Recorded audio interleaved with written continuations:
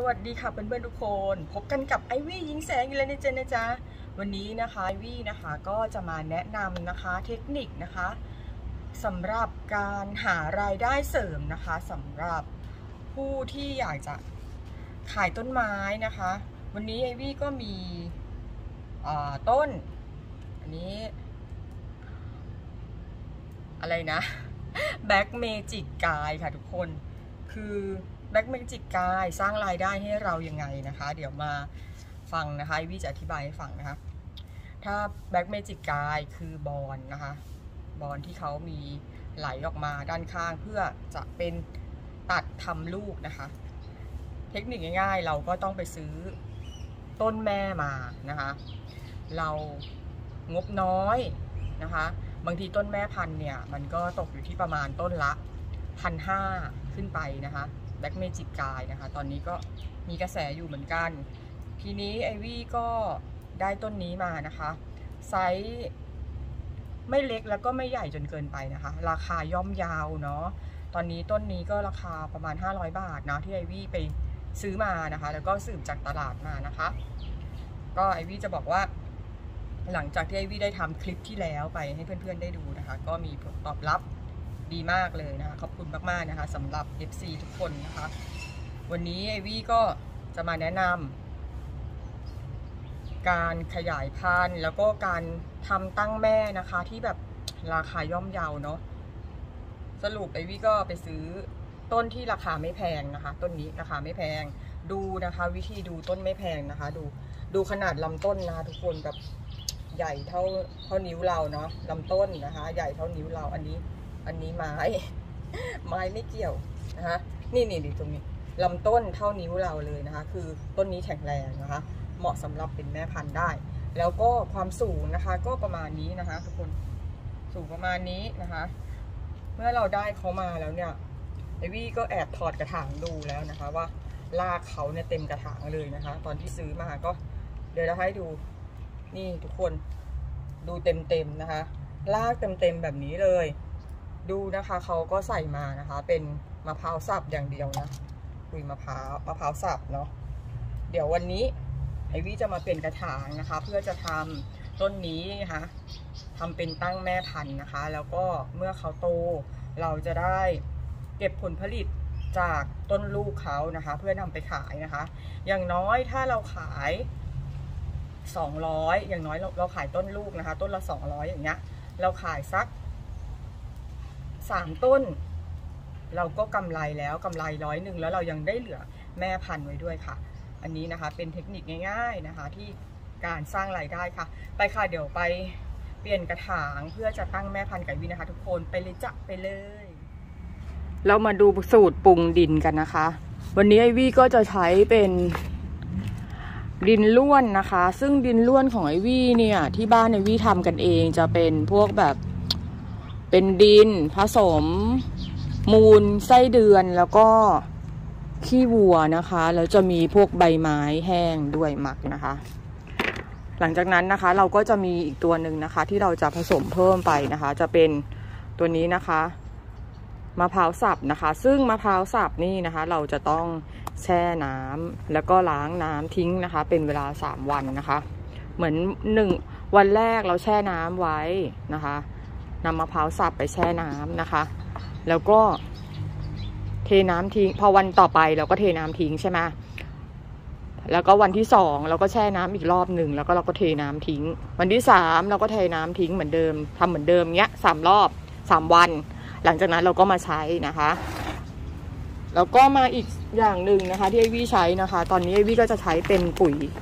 ตั้งแม่ก็จะใช้ปุ๋ยเคมีเนาะสิบหกสิบหกสิบหกนะคะ ตัวนี้จะช่วย เร่งการเจริญเติบโตนะคะ เร่งราก เร่งใบบำรุงดอกลำต้นนะคะสำหรับไม้ทั่วไปนะคะเราพืชไร่ได้หมดนะคะสิบห้าวันนะคะ เราก็ใส่ครั้งหนึ่งนะคะ ตัวนี้เราก็ใส่ไม่เยอะนะคะ ใส่แค่ช้อนเดียว มาเดี๋ยวเรามาผสมดินกัน เราก็ผสมในถังนี้เลย อันนี้คือกระถางนะคะ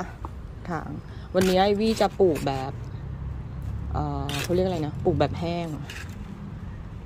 โดยมีจานรองข้างล่างรองน้ำไว้เฉยๆแล้วใส่ดินผสมไป ก็เหมือนปลูกต้นไม้ทั่วไปเนาะทุกคน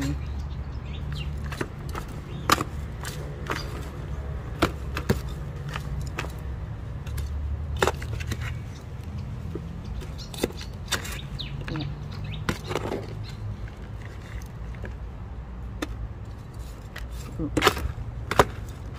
ลุกคุกเข้าไป เราก็นำต้นมาทำหลุมตรงกลางนะคะ ปลูกต้นไม้นี่ก็ทำหลุมตรงกลาง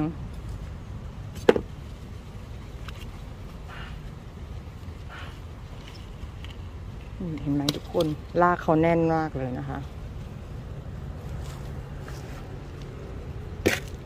จริงๆแล้วอะการขายต้นไม้เนี่ย ถ้าเรามีต้นแม่พันธุ์ไว้นะคะ เราก็สามารถเก็บผลผลิตกินได้ตลอดทั้งปีเลยทุกคนกินได้ตลอดเลย เพราะฉะนั้นเราควรที่จะมีแม่พันธุ์นะคะ มีแม่พันธุ์ไว้ไอวี่ก็เก็บแม่พันธุ์ไว้หลายต้นแล้วนะคะ ตอนนี้ก็คือคืนทุนหมดแล้วนะคะ ที่ไอวี่ทำขายต้นไม้เนี่ย คืนทุนหมดแล้วนะคะ ตอนนี้ก็คือจะเป็น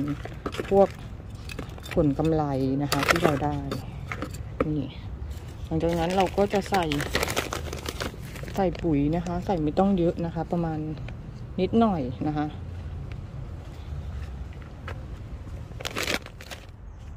ตอนนี้นะคะเราก็ทำการปลูกเขาเรียบร้อยแล้วนะคะ อันนี้นะคะ เจ้าแบ็กเมจิกกลายนะคะเพื่อนๆ เดี๋ยววันนี้นะคะวีก็ต้องมี นี่นะคะ กระมังนะคะ หรือว่าจานรองก็ได้นะคะ ที่ไม่ใช้แล้วนะคะ ใส่น้ำไว้นะคะ แล้วเดี๋ยวเรานำต้นไม้นะคะ ลงแช่ในนี้นะคะแช่ก่อนเลยโอเคแล้วเราก็จะรดน้ำต้นไม้นะคะ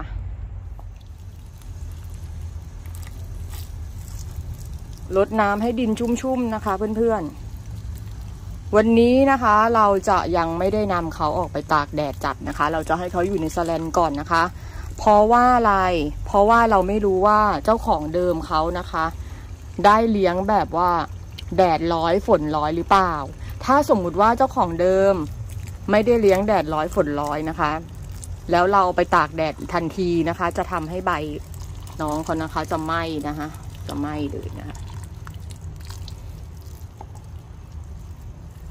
เดี๋ยวเพื่อนๆจะถามว่าแล้วถ้าเรานำ ต้นไซส์ประมาณนี้แล้วเมื่อไหร่นะคะ จะมีไหลแล้วก็จะให้หน่อนะคะ ก็จะขอระยะเวลาประมาณหนึ่งเดือนนะคะ เพื่อนๆ เดี๋ยวเขาก็จะเริ่มแตกหน่อแตกไหลออกมาให้เราได้ชมกันนะคะ เราจะต้องพักเขาไว้ในสแลนเพื่อให้ปรับสภาพก่อนนะคะ เป็นประมาณหนึ่งสัปดาห์ เพื่อที่จะให้เขาแบบปรับสภาพใบนะคะ แบบ เดี๋ยวเราจะต้องนำไป เลี้ยงที่แดดร้อยเปอร์เซ็นต์นะคะ ก็ให้อยู่ในสแลนประมาณหนึ่งสัปดาห์ก่อนนะคะ ค่อยๆ ปรับปรับอากาศให้เขาไปเนาะปรับสภาพนะคะนี่นี่ถ้เพื่อนๆนะคะ ชอบคลิปวิดีโอของไอวี่นะคะ อย่าลืมกดไลค์กดแชร์กดติดตาม และกดกระดิ่งเพื่อเป็นกำลังใจให้วี่นะคะทุกคน แล้วพบกันใหม่คลิปหน้าค่ะ บ๊ายบาย ไปเลยจ้า